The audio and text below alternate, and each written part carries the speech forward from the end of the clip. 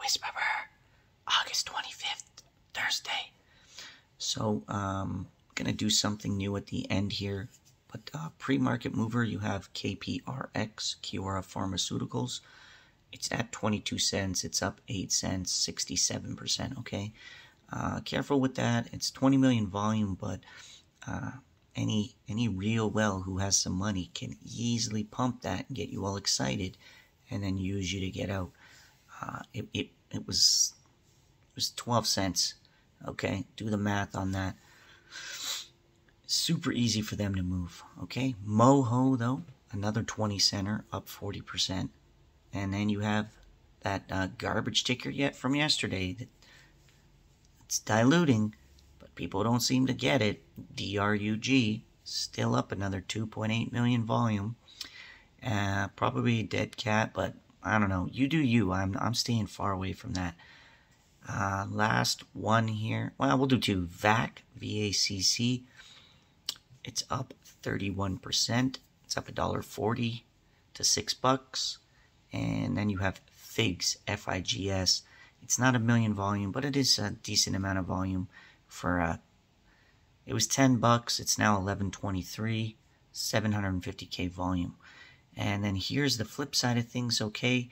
Uh, Piton, they put out awesome news. Awesome news yesterday. Uh, so for anyone who's having trouble typing Peloton.com, they partnered up. Well, they didn't partner up. They just opened an Amazon store. Uh, some dude in his StockTwits, I was laughing because he said his grandma opened like a cat mittens store or some crap.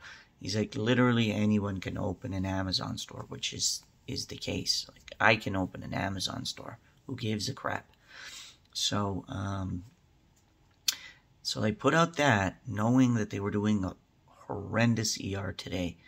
Um, the stock ran on that, and then on this ER, uh, it's down 15%. Max pain is 11 on the options chain.